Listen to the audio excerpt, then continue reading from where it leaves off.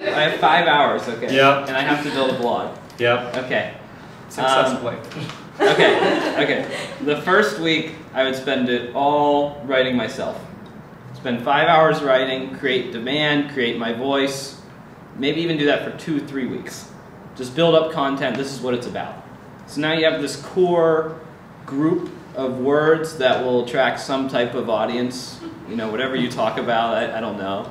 You know, how good is it? What type of people will attract? Then I would spend the next few weeks not writing at all and just everyone that shares my stuff, I'd be like, all right, guest post time.